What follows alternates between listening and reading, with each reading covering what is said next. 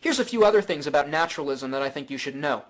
People like Richard Dawkins or the Amazing Atheist or Thunderfoot, they're, they're basically saying this. Um, and I want to kind of make an analogy. They're basically children in a sandbox playing with sand, saying, look at the pretty sand, look how it flows. And that's about it. And that's all they're doing. They look at the world as it is and say, you know, there's a chemical reaction happening, that's how it works, and that's it. And that's all that exists. Well, hey, wonderful, children, children can do that. Not, not very intelligent, if you ask me. I mean, anyone can do that. It takes someone who likes to employ reason and thinking and philosophy to get outside of just what the five senses present to us, which is all these naturalists here on YouTube seem to be capable of doing. They've never employed any critical thinking to try and, again, get outside the box. Okay, so according to this creationist, believing in things for which there is absolutely no evidence for is a, is a good thing. Fantastic fantasy, Batman. Why bore ourselves with the little sandbox of reality when we can expand our remit to the world of comfortable delusional fantasy?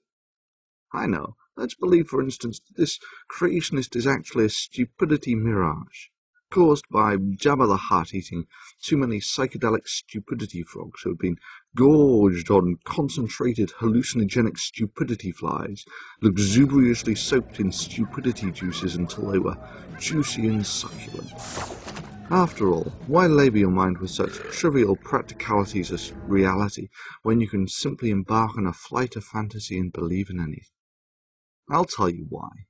Because it saves lives, because it alleviates suffering, because it makes people's lives better. Point in question take HIV protease. You are now on the forefront of AIDS research. Inhibiting this enzyme could save tens of thousands, maybe even millions of lives. Designing an inhibitor is contingent on the union of several fields of research involving quantum chemistry, molecular dynamics simulations, biological identification of substrate and insight into possible inhibitors, testing mutant enzymes, and of course double-blind clinical trials. It's your call, PCS. What do you choose to do? But it's their bias. It's their naturalistic worldview, which we've shown you kind of limited and kind of closed-minded and self-refuting and circular. Okay, so PCS doesn't want to go with all that naturalistic scientific nonsense. What do you want to go for, PCS?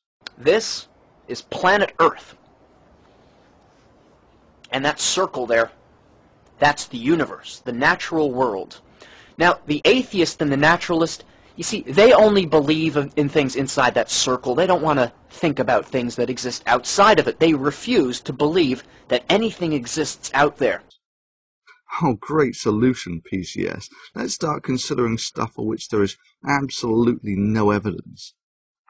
Maybe AIDS is the misfiring of a cosmic prayer cap. Maybe AIDS is someone outside the universe trying to communicate with us. Maybe those who die of AIDS gain eternal life.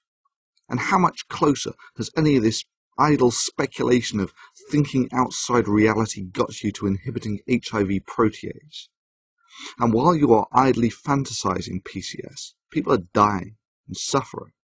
How many are you willing to sacrifice for your self-gratificational luxury of idly kicking your feet in the pool of ignorance?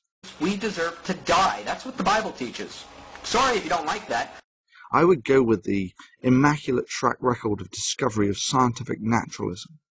Quantum and Newtonian mechanics, atomistic understanding, chemical and biochemical knowledge, DNA, cellular and enzymatic activity, Brownian diffusion and statistical thermodynamics, polymer and material science, thermodynamics and semiconductor technology, and so on. These are just a few of the disciplines that have a track record of producing the best HIV protease inhibitors in the world. Like it or not, you live in a civilization that is a monument to these godless scientific principles to which you doubtless already owe your life several times over to. I know I certainly do.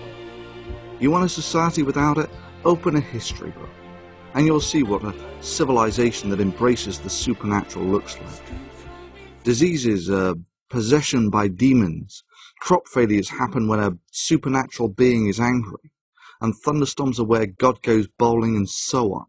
Now we've seen what a world looks like that accepts supernaturalistic explanations. PCS, you embody what is wrong with religion, selfishly sucking to the dregs every last drop from the cup of technological boon that scientific understanding has delivered to mankind. You gorge yourself fit to burst on the comforts and sweet fruits laid out on the table of scientific advances. And then with an arrogant laugh, you attack the table of plenty with an axe. So I just want to show you what this new camera can do and tell you a little bit about it. Um, it is portable, so I can take it outside, which I did, and I'll show you some clips.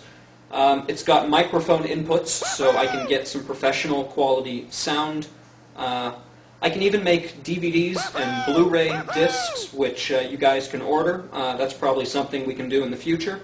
Uh, I can upload higher quality videos both to YouTube and other sites like Vimeo.com, which can take high definition videos. So there's a lot of things that we can do, uh, things that I'm excited about. So uh, I'm just going to show you some clips in this video uh, of what this camera can do. So again, thanks Rick uh, for this this camera. It's it's amazing, and uh, I, I just I'm excited to see what we can do with it. So this is VenomFangX in high definition, high definition, high definition. It's their naturalistic worldview, which we've shown you, kind of limited and kind of closed-minded and self-refuting and circular.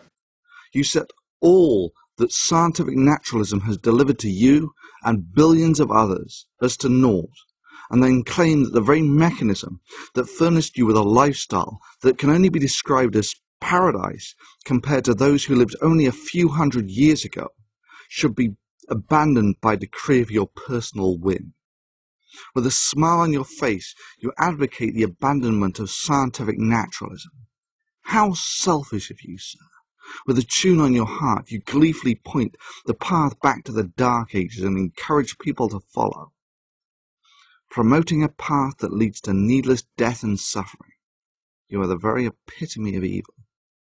People like Richard Dawkins or the amazing atheist or Thunderfoot, they're, they're basically saying this. Um, and I want to kind of make an analogy. They're basically children in a sandbox playing with sand, saying, look at the pretty sand, look how it flows.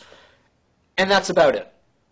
And that's all they're doing. They look at the world as it is and say, you know, there's a chemical reaction happening, that's how it works, and that's it. And that's all that exists. Well, Hey, wonderful. Children, children can do that. Not, not very intelligent, if you ask me. I mean, anyone can do that. And that's all they're doing. They look at the world as it is and say, you know, there's a chemical reaction happening. That's how it works, and that's it.